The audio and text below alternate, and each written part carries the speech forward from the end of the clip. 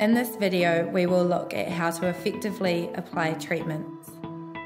Recording animal health treatments is important for general compliance and for reporting to clients. To access the treatments from the weigh screen, select Options, then Settings, then Treatments. The 5000 uses a step-by-step wizard to set up the treatment. In today's example, we will create a new pour-on treatment. The first step is to select the New option. There are six steps to the wizard. In step 1, we enter the treatment name.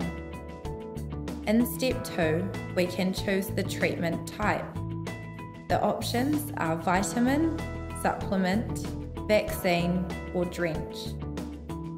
In step 3, we have the option to enter a dosage rate. This allows the XR 5000 to calculate the required dosage based upon the animal's weight. In today's scenario, we are going to apply the same rate to each animal, and so we will leave this blank. In step 4, we have the option to enter a withholding period.